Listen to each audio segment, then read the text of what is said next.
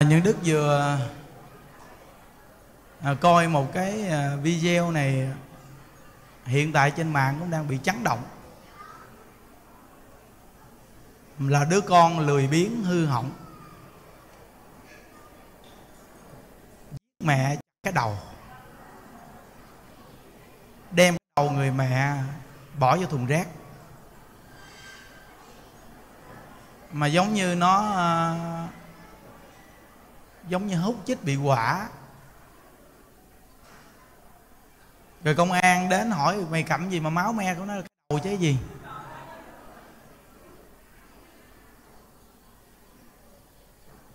À, xong rồi cuối cùng à, à, công an phải nổ súng. Tại vì nó không biết gì. Bắn vô chân. À.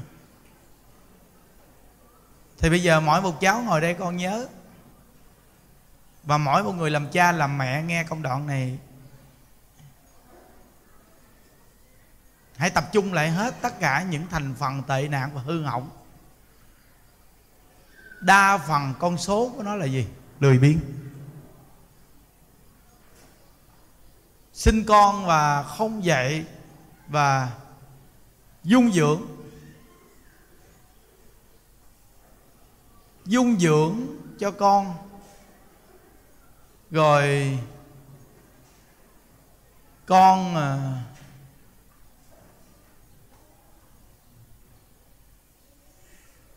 không lo cái việc mà phụ giúp cha mẹ. Mà cái giác quan của người làm biến họ rất chậm. Quý vị hãy to thống kê là đi. Cái người làm biến cái giác quan của họ cực kỳ chậm con trai con gái làm biến là là giống như nó nhìn nó giống như tầm phơ tí phèo vậy đó. Nó làm cái gì cũng đụng đâu là rớt đó đụng đâu là hư đó. Cái người làm biến là nó như vậy đó. Cái giác quan nó rất chậm và con người nó giống như là lục bình trôi sông vậy đó. Mình nhìn cái tướng là biết nó dở liền vậy đó. Người làm biến mà nhìn cái tướng của nó là mình biết liền không mất dòng dõi. Còn cái người mà siêng năng á, họ nhạy bén dữ lắm. Họ rất là lanh lẹ họ rất là nhạy bén mà thường là người siêng năng là người biết chào hỏi biết uh, lễ phép. Nó đa phần là nó nó được hết trơn. Còn người làm biến là dạ là lạ thay nhìn là phản cảm à. Nhìn tướng lông ngông lông ngông vậy đó. Nó, nên từ nơi đó đó mà những thành phần đó lại đi vào tệ nạn nhiều. Vì không có việc làm. Lười biếng ăn nhậu hư hỏng hút chích. Rồi cuối cùng đi đến cái chỗ này gì? Gây án phải không? Quý vị, bây giờ quý vị thống kê lại đi rồi quý vị sẽ thấy rõ ràng liền. Đa phần cái phần hư là cái phần gì? Lười biếng. Không làm được trò chống gì. Nên mới tính ra cái chuyện trộm cướp, làm những việc phạm vào tội lỗi này kia. Còn người siêng năng người ta có việc làm, ai mà không tiếp nhận họ họ là người siêng năng họ đi đến đâu người ta cũng tiếp nhận họ hết. Thì họ là người có công việc làm rõ ràng rồi, sao mà họ đi đi đi gây án, làm việc này việc kia, tầm bậy chỉ có những con người mà người ta lười biếng, người ta mới làm những việc tầm bậy và hư hỏng, hiểu không? Nên bây giờ chúng ta nghiêm túc học tập. Cái chỗ là bắt đầu là dạy con cháu từ nhỏ, dù nhà giàu cỡ nào, con cháu mình cũng phải biết siêng năng. Nhỏ làm việc nhỏ, phải siêng năng, phải bắt tay vào chỗ này để gầy dựng cho con cháu. Điều thứ nhất, thêm cái nữa. Quý vị biết rằng dạy con cháu biết chào hỏi người ta là việc cực kỳ quan trọng luôn đứa con cháu mình từ nhỏ mà nó không biết chào hỏi người ta thì đứa này cứ như là xong rồi, thua. Nó thật sự luôn. Bây giờ con cháu mình mà mà không dạy, nghe quý vị, sau này con cháu mình sẽ là người quên ơn bội nghĩa. Nó không bao giờ biết ơn nghĩa là gì. Những đức nói cho quý vị nghe nè, cả ở đây mà những đức nuôi cha mẹ, có những người người ta còn không biết ơn nghĩa kìa.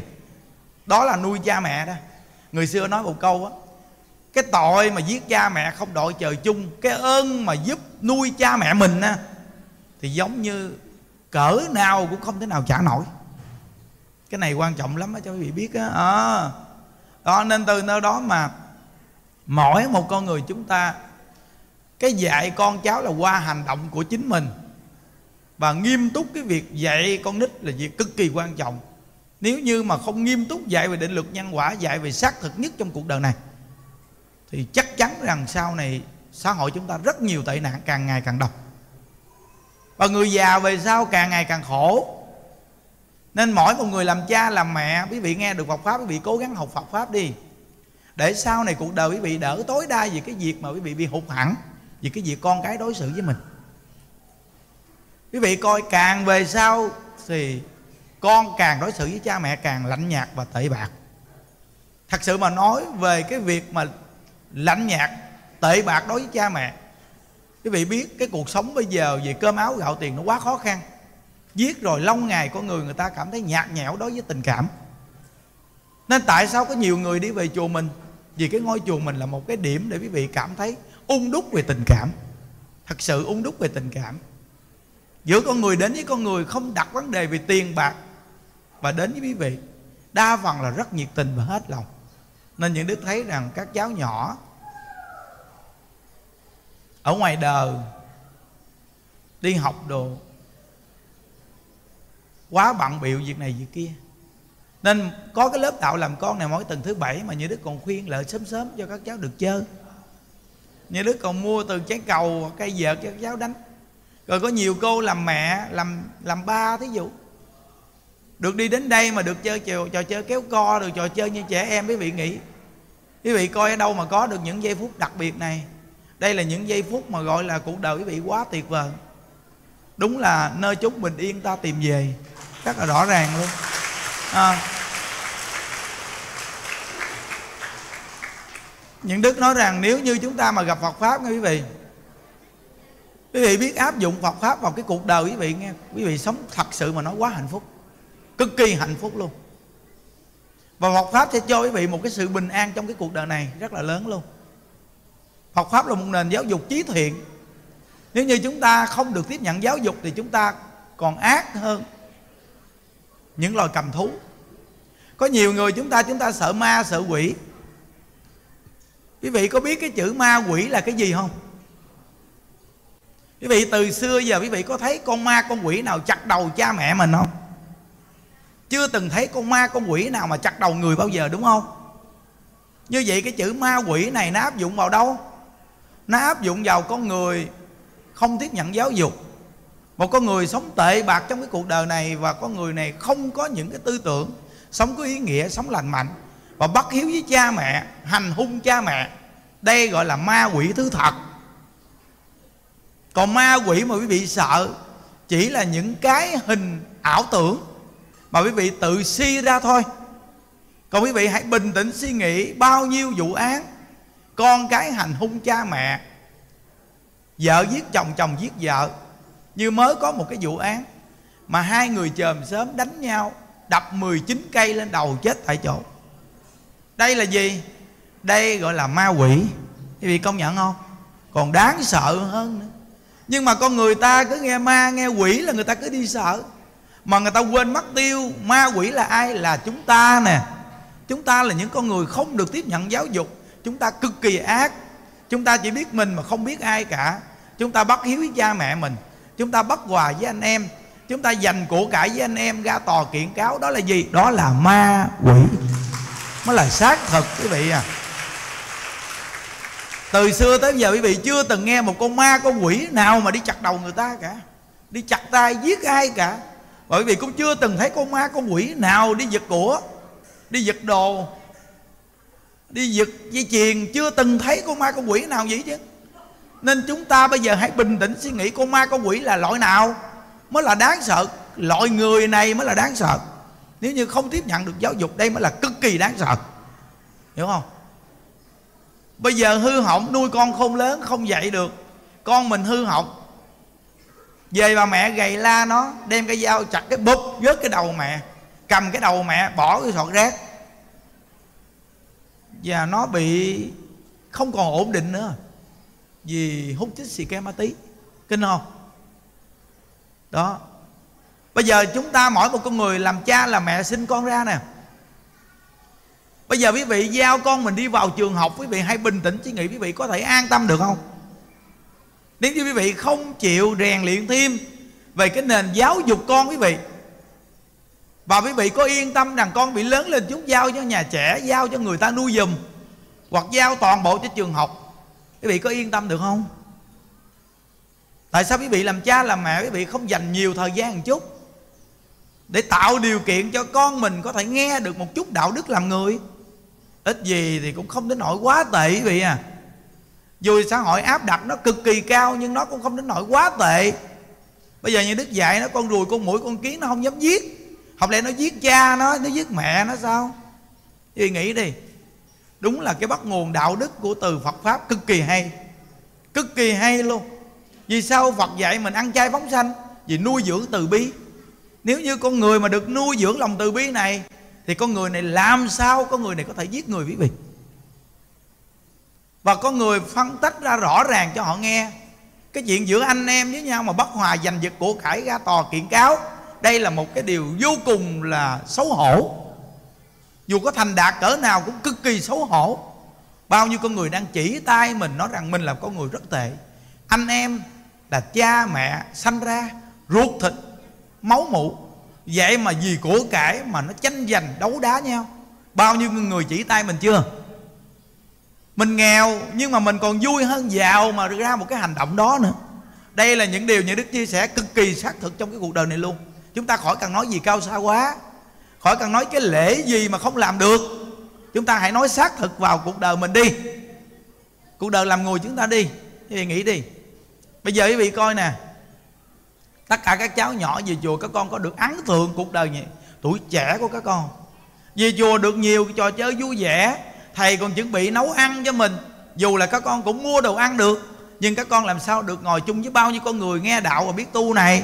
Cùng ngồi ở đây nên người làm cha làm mẹ biết tu phước tu duyên cho mình và cho con mình. Đây là điểm tu phước tu duyên đặc biệt để gieo một cái thiện duyên cho con của mình. Con của mình có thể gặp được những người thiện, những người lành. Dù nó ở đây, con trai, con gái sau này nó lớn lên luôn, nó thường tới đây. Dù nó có gặp nhau cũng là những đứa biết tu hành. Nó cũng không đến nỗi quá tệ đâu quý vị à. Thật sự không đến nỗi quá tệ đâu. Nhớ đó nó bê hởm với những đứa coi rõ ràng hai vụ án ghê thiệt. Nó thì thấy con người với con người ghê chưa? Nó cuồng chí hết biết gì.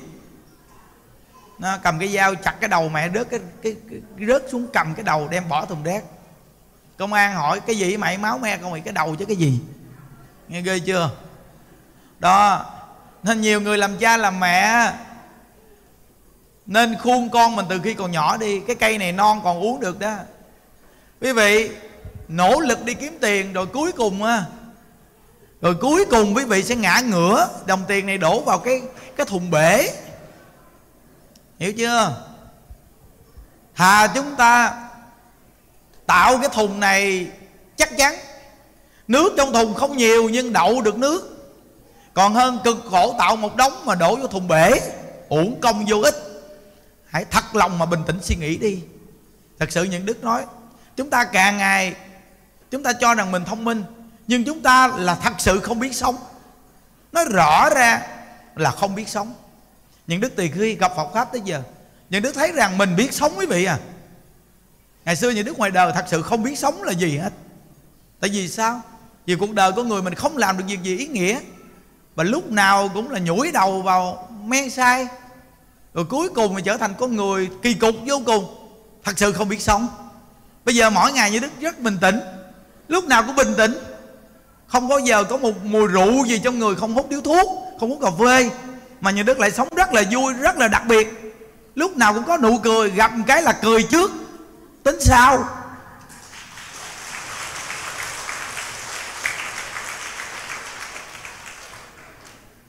dù là miệng rộng mà cười chàng quạt cũng hả?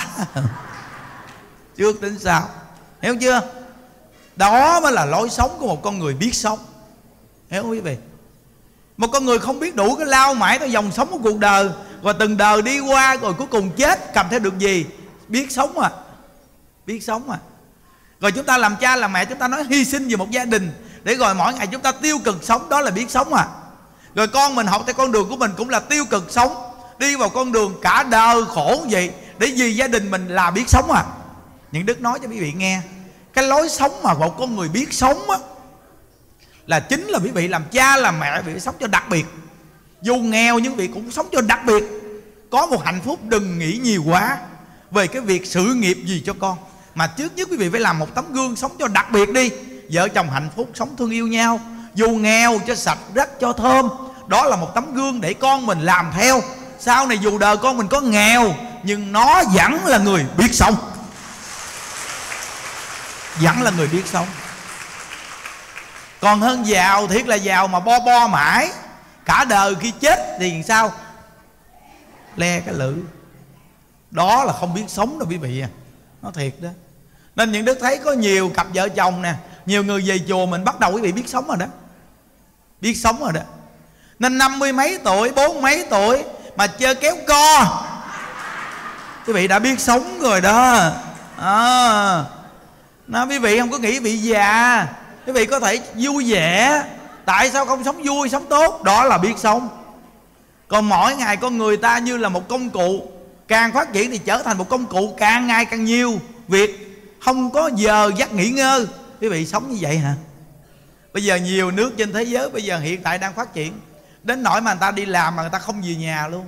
Người ta phải cắt nhà cửa gần công ty xí nghiệp đó để cho công nhân làm luôn quý vị về nhà mất thời gian. Sống như vậy một đời quý vị chừng nào quý vị hưởng thụ. Họ nói rằng à, sau này có tiền nhiều sẽ hưởng thụ. Khi quý vị có tiền nhiều quý vị sẽ không có khả năng hưởng thụ. Vì sao? Vì quý vị thường ngày đã không được bồi dưỡng một cái niềm vui không được bồi dưỡng một tư tưởng xấu. Nên quý vị dù có tiền quý vị cũng không biết sống nữa. Quý vị cũng không hưởng thụ được luôn. Vì sao? Vì cái bộ máy của mình nó đã bị bế tắc rồi. Vì sống không có được. À. nên con người bắt tay vào ngày hôm nay bắt đầu biết sống. Đó là gì? Trong mọi cương vị mọi hoàn cảnh chúng ta phải sống cho thật là đặc biệt. Nếu như có thể tiếp nhận được chỗ này cũng tiếp nhận thời gian lâu lắm chứ không dễ đâu. À, thật sự có thời gian rất là lâu nó bây giờ chúng ta về đây rất là đông vì chúng ta ngồi cùng học tập một chút. Rồi chúng ta bắt đầu ăn miếng đồ ăn uống miếng nước gì đó. Nhưng mà quý vị thấy có một cái cảm giác của một đại gia đình. Tự nhiên cảm thấy nó ấm áp gì đâu. Vui gì đâu. Được chưa? Bây giờ quý vị nhận đức nói cho quý vị nghe nào. Tại sao quý vị nhại cười dữ gì tại sao?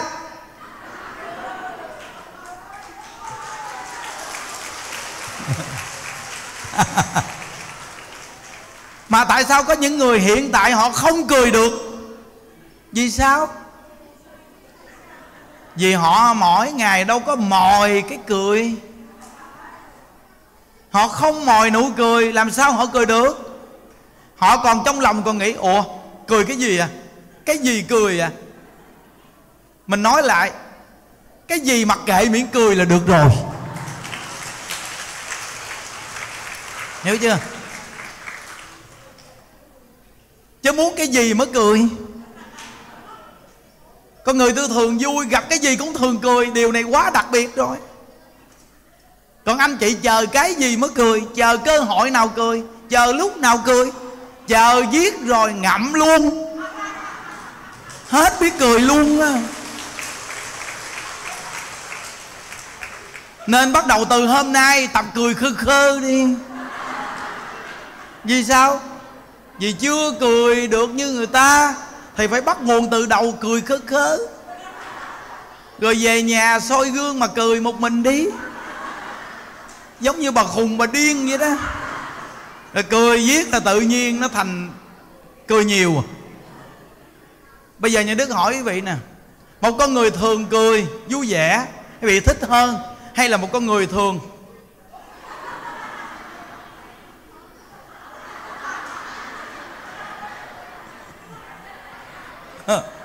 Nếu bây giờ quý vị nói là tôi tôi tôi tôi, tôi thích con người. Vậy là quý vị ba trợn rồi đó. Vậy đó nó thiệt luôn. Chúng ta mỗi một con người ai mà không thích một con người vui vẻ quan hỷ quý vị? Một con người vui vẻ quan hỷ ai mà không thích? Nhưng một con người thường vui vẻ, quan hỷ là con người này thường mòi được niềm vui. Chúng ta tại sao không bắt đầu từ bây giờ, mòi cho đến khi tuổi già nó có niềm vui luôn? Chúng ta luôn luôn là lão hoang đồng, vui vẻ, quan hỷ. Một con người già mà sống vui vẻ, quan hỷ, một người lớn tuổi rồi mà còn nhảy dây chơi cò cò thì quý vị nghĩ sao? Ai không ngưỡng mộ quý vị? Ai cười quý vị? Mà quý vị làm cho người ta cười, điều này cũng cực kỳ quý. Hiểu không? Có khi mình muốn làm cho người ta cười mà người ta còn không cười nữa vì sao? Vì mình đâu có nụ cười đâu, làm cho người ta cười. Quý vị biết rằng chùa mình một ngày ba buổi như đức làm cho chúng cười. Người ta lâu lâu mới ra được một đề tài cười. Còn chúng ta một ngày ra ba đề tài cười. Đạt không? Quá đạt. Nên như đức nói với tất cả các cháu nghe, các con mà lười biếng là ngu si á, các con muốn thông minh á thì cần kiệm. Cần là siêng năng, còn kiệm kiệm là chúng ta xài đúng nơi đúng chỗ. Hiểu không? Một con người siêng năng xài đúng nơi đúng chỗ, không có không có phí phạm của cải, thì con người này cực kỳ thông minh và trí tuệ. Còn con người lười biếng thì thường bê tha, ăn nữa, bỏ nữa. Tại vì sao? Vì nó lười biếng, nó không biết cái giá trị của cái cực khổ khi kiếm ra được vật chất. Nên nó tùy tiện ăn uống bê tha, bỏ bê. Vì coi đúng không? Đứa con nào lười biếng, ăn mì, ăn nửa gói, bỏ nửa gói. Ăn cái gì cũng tùy tiện, vì sao? Nó lười biếng. Nó đâu có làm ra để có vật chất nên nó lười biếng. Lười biếng thì không biết cái giá trị của đồ ăn. Còn siêng năng, cực khổ, đổ mồ hôi, chảy máu mới có được tiền, có được thức ăn, thì sẽ biết kỹ lưỡng ăn uống rõ ràng đúng nơi, đúng chỗ. Và ăn thì múc vừa ăn, không có tùy tiện múc nhiều, để rồi ăn nữa bỏ nữa hoặc là vô trong quán ăn kêu vừa vừa, hết kêu thêm, để ăn cho hết, không dám bỏ đồ ăn. Chứ không phải vô trong quán ăn kêu nguyên một mâm đồ ăn ăn gấp vài đũa, xong tính tiền, bỏ nguyên mâm đồ ăn. Cho rằng mình là người sang giàu. Người sang, thà để cái đồ ăn bỏ đó đó quý vị quy ra tiền á, quý vị cho những người ta phục vụ, quý vị còn có đẹp mắt hơn. Là quý vị ăn mà quý vị bỏ như vậy nè. Người ta vô người ta lụm đồ ăn thừa đó, người ta ăn. Mà người ta còn chê quý vị là con người gì? Một con người phí phạm, không biết cách để xài. Hiểu chưa? Nhớ đó. Này, quan trọng lắm á nghe. Nhiều người lắm á. Tại vì đức ngày xưa sống thành phố mà. Quán ăn đồ này kia nè vô ăn kêu nguyên mâm đồ ăn gấp mấy đũa. Nè cái nhiều đứa dưới quê á, chưa được tiếp nhận giáo dục chứ dưới quê lên thành phố. Bắt đầu là mới vừa mới có hít được miếng mùi à, hương vị thành thị. Bắt đầu là quen được ông nào lớn lớn tuổi dẫn lại quán ăn nhà hàng còn chảnh chẹ ba lá hẹ kêu đồ ăn ra bắt đầu là gấp chút chút chút chút ăn trong khi ở nhà ngốn ngốn còn không có mà ăn. Mà xạo tưởng nó mình sang trọng thì thấy chưa? Nếu con mà được giáo dục thì làm gì có cái hành động này? Hiểu không? Nó cái hành động đó là thường bị người ta bỏ rơ và bị người ta vứt ra thùng rác. Người ta chỉ dùng trong cái lúc người ta cần dùng thôi. Vì người ta vẫn nhìn ra con người như vậy là không được đặc biệt. Nó, mình nghèo người ta biết mình nghèo rõ ràng. Mình đi làm như vậy người ta càng xem thường mình chứ gì đâu. Nên chúng ta là người đặc biệt nhất. Nghèo tôi nghèo xấu tôi xấu hô tôi hô. Như vậy mà người ta lại thích mình thích mình. Nó, ngày xưa nhà đức hô cái miếng miếm không ai thích. Nhưng bây giờ nói mình hô hả cái miệng người ta cũng thích. Thấy chưa? Con người nên chấp nhận sự thật mình đi. Nghèo là nghèo, dốt là dốt, ít biết là ít biết. Đừng có gọi là dốt mà nói chữ. Dốt mà nói chữ, người ta cũng biết cái tẩy của mình à. nói chút nói tàu lao không? Thà dốt, nói theo dốt vậy mà người trí tuệ người ta vẫn muốn học vì sao? Vì người ta chưa có được dốt. Hiểu chưa? Có những câu của người dốt mà người thông minh chưa từng được học. Và có những câu mà người dốt chưa bao giờ được học người thông minh. Nên hai bên này vẫn là ngang bằng vì thông minh chưa được học dốt. Hiểu chưa? Thí dụ như mình là người miền quê, mình lên thành thị thành thị mình không biết gì thì hoàn toàn là mình không biết gì để người ta chỉ dặn. Nhưng miền quê mình nói được miền quê thành thị không biết miền quê. Hiểu không? Người ta vẫn thích nghe mình nói chuyện về miền quê, và mình cũng thích nghe về thành thị. Vậy thì hai bên đều có sự học tập được với nhau. Chúng ta dạy gì, chúng ta đi mới có rửa cái chân còn dính miếng bùn, mà chúng ta đã đã gọi là vứt bỏ đi cái miền quê của mình. Sau này các con phải nhớ cái này đó gia đình mình nghèo gia đình mình á, sống khổ. Vậy mà mới lên chút xíu thôi là mình đã muốn vứt bỏ cái gia đình nghèo khổ của mình rồi. Đó là con người á, gọi là không có nhớ nguồn cội thua và thất bại là chắc chắn luôn. Ví dụ như sau này các con có đi du học ở phương xa nước ngoài lâu lâu trở về miền quê mình vẫn là một con người đặc biệt về tư tưởng của miền quê mình. Vậy thì các con là người đạt về sở học nhất rồi đó. Chứ đừng có nói mà đi học ở nước ngoài đồ về điệu điệu mang à, guốc cao rồi đi ẹo ẹo ẹo ẹo ẹo gì? Được cái gì? Không có được cái gì đâu các con nhớ nghe. Mấy đứa nhỏ nhỏ này nghe mấy điều này ấn tượng nghe con. Nhớ nghe không? Đem mấy câu này để vô cái à, cái đầu trong đó đó. Để sau này mà áp dụng. Vậy thì con người đặc biệt quá thấy không? Những văn tự như đức nói nó rất là rõ ràng nó thẳng thẳng thẳng vậy đó. Vậy mà cũng nhiều người ta thích nghe nè vậy tại sao các con không học cái này để nhiều người được người ta thích nghe? Đúng không? Đó rồi ơi cao xa kia nó mệt. Đó thì bây giờ á chúng ta nói chuyện chút xíu. Rồi ở đây á bữa nay á hình như là có 11 người à, sinh nhật nữa nè. À, chúng ta mấy cái này cho xong luôn đi. Để xong á mình ăn uống xong mình phóng sanh cho nó gọn theo chiều hướng thấy không? Nó bắt đầu mấy cô đồ chuẩn bị à, nước đá đồ lên bàn đi ha. Rồi bây giờ những đức đọc những cái tên mà sinh nhật ngày hôm nay. À, Trần Kim Ngăn 11 tuổi. Phan Minh Đăng 14 tuổi. Lê Hoàng Gia Bảo 10 tuổi. Nguyễn Thăng Tâm Nhiên 6 tuổi. Nguyễn Thị Lược 50 tuổi.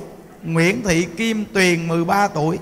Nguyễn Quỳnh Thi 18 tuổi. Võ Kiều Vi 19 tuổi. Võ Thị Diệu Thiện 11 tuổi. Lê Thị Thanh Ngăn 12 tuổi. Phạm Văn Bảo Di 11 tuổi. À, à, Hôm nay 11 người à, sinh nhật hôm nay ha. Chúng ta vẫn nhắc câu cũ Sinh nhật là để tưởng nhớ công ơn cha mẹ chứ không phải đòi quà. Nhưng mà vô đây những đức tặng quà là cũng ngon rồi. Nó Tặng à, con trai á con trai thì những đức tặng con heo đực. Con gái thì những đức tặng con heo cái rồi tặng thêm cái máy niệm phật nữa cho các con đeo máy niệm phật nghe. Đó cái này là quý lắm món quà này quý lắm nghe chưa? Đó. những đức mà thấy mấy đứa nhỏ nhỏ trong lớp đạo làm con. Lúc còn nhỏ như đức thấy thân thiết ghê. Lớn lớn lên nó 14, 15 tuổi 16 tuổi cái tự nhiên cái thấy xa cách sao mà sống ngộ ghê? Tập đi. Ví dụ như ngày xưa nhỏ nhỏ mình đến mình gặp thầy mình chào hỏi, mình vui vẻ, sau này mình lớn lên mình cũng tập vậy đi. Thấy thầy đức lúc nào cũng vui, lúc nào cũng gần gũi, người ta thương thấy chưa? Sao các con không tập gì chứ đâu phải là những đức là con trai bằng tuổi các con đâu mà con mắc cỡ. Hiểu chưa? Nên từ đó mà mình tập đi, lớn lên một chút cũng nghiêm túc nhưng mà mình gặp thầy mình chạy lên mình mình chào thầy mình vui vẻ quan hỷ. Vậy thì đặc biệt quá. Thấy có nhiều đứa nhỏ nhỏ này lớn lên một chút là, là thấy tự nhiên cái à, nó giống như nó gặp mình nó mắc cỡ gì chắc là mình dạy nó nó không làm được nó gặp mình nó sợ nó tránh né hay sao đâu hiểu chưa? Con người mà làm được hết thì cũng khó lắm. Nhưng mà những cái căn bản gì mình làm được thì làm các con à thấy không? À, bây giờ à, heo đâu? Mấy heo đực đâu? Tiêu rồi à gì con?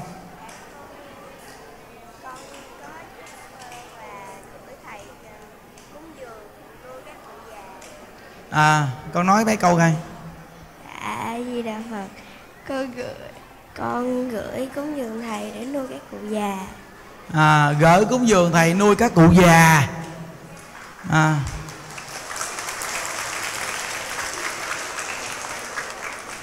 đây là con có thì con gửi con nuôi các cụ già. Còn người không có là thôi không có gì nghe. Chúng ta đâu có gì đâu thấy không? À.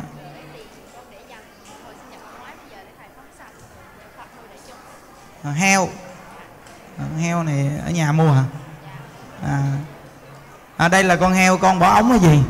Dạ con heo con bỏ ống năm nào cũng sinh nhật con là con bỏ tới sinh nhật năm sau là năm, mấy năm mà chưa cúng cho thầy thì con ở nhà con tự đi phóng sanh, con cúng dường cho. Dạ. Dạ năm nay là gửi cho thầy để thầy phóng sanh, cúng dường với lại nuôi các cụ già. Rồi, ai với đạo phật? Ừ. heo. Rồi đây. Gái nhà có nơ ở đây, heo có nơ, gái luôn. Heo này giống heo đực mà là có nơ là con gái nha. Rồi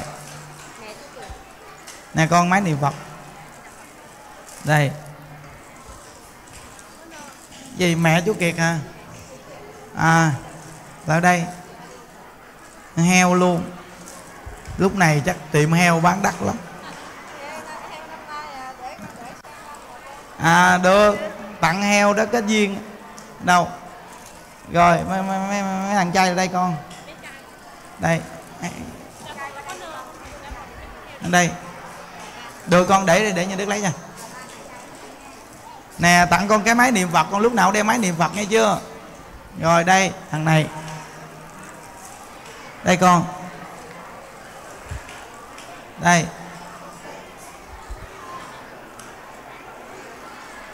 Đây con. Đây. Rồi à, còn ai nữa không? Mấy nhỏ gái hả? Nè con con gái. Đây. Ôi, mấy heo này đẹp. Đây con. Đây ai giờ đầu phật ở đây.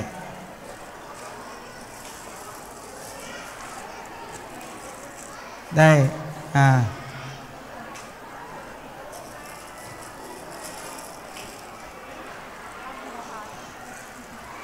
Này còn ai không? À, giờ chúng ta chắp tay niệm 10 câu Phật hiệu này các con. À, mình đều à, đem cái phước báo niệm Phật hồi hướng cầu an cho cha mẹ mình. Ngày sinh nhật của mình nên tu phước tu duyên gì đó để tưởng nhớ đến cha mẹ. Để mà cầu an cho cha mẹ thì các con có phước. Khi có phước rồi sau này cuộc đời mình mới thành đạt nghe không? Ừ. a di đà phật. A di đà phật.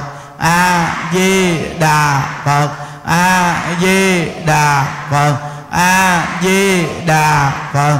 A di đà phật. A di đà phật. A di đà phật. A di đà phật. A di đà phật. A di đà phật.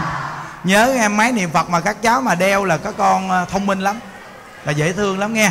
Rồi chúng ta chắp tay hồi hướng cái luôn nè nguyện à, đem à, công à, đức này, hướng về khắp tất cả đệ tử và chúng sanh đồng sanh về tịnh độ à, chùa chúng ta mỗi tuần thứ bảy à, có lớp đạo làm con. À, các cháu về đây rất là vui. À, nhiều người làm cha mẹ ông bà nên tạo điều kiện cho các cháu nhỏ được về chùa mỗi tuần thứ bảy. À, được à, nghe giáo dục và các cháu được à, có một sân chơi rất là vui rất là lành mạnh ha. À, giờ này à, chương trình à, vừa xong chúng ta có cái lễ phóng sanh. Từ khi còn nhỏ rèn luyện cho các cháu à, có cái tâm từ bi. Từ là ban vui bi là cứu khổ là từ một con ruồi con mũi con kiến các cháu con không dám giết. Vậy thì sau này lớn lên các cháu có phước báo rất là lớn. Nếu cháu nào còn nhỏ mà sinh ra mà à, èo ọt bệnh hoạn khó nuôi cũng nhờ công đức phóng sanh công đức à, niệm phật mà các cháu chuyển cái nghiệp và các cháu khỏe mạnh à, à, lớn lên khôn ngoan thông minh. Biết nghe lời cha mẹ không có hỗn ẩu. Nhờ cái công đức niệm phật à, phóng sanh mà chuyển cái nghiệp cho các cháu nghe nên từ nơi đó mà về chùa rất là lợi ích cho các cháu này. Ừ, nhìn cháu nào cũng dễ thương lắm. Bây giờ chúng ta đọc tam quy y xong mình thả chim này các con. Quy phật không đọa địa ngục quy pháp không đọa ngạ quỷ quy tăng không đọa bàn sanh quy phật không đọa địa ngục quy pháp không đọa ngạ quỷ quy tăng không đọa bàn sanh quy phật không đọa địa ngục quy pháp không đọa ngạ quỷ quy tăng không đọa bàn sanh à, chúng ta đồng niệm phật thả chim này các con. A di đà phật a di đà phật a di đà phật a di đà phật đà phật a di đà phật a di đà phật a di đà phật a di đà phật a di đà phật a di đà a di đà phật a di đà phật a di đà phật a di đà phật a di đà phật a di đà phật a di đà phật đà phật a di đà phật a di đà phật nguyện đem công đức này hướng về công tất cả đều tự bài chúng sanh đằng sanh về tịnh độ. À, chúc ông bà cha mẹ của các cháu và các cháu luôn luôn vui vẻ an lạc nha. Vì đà phật.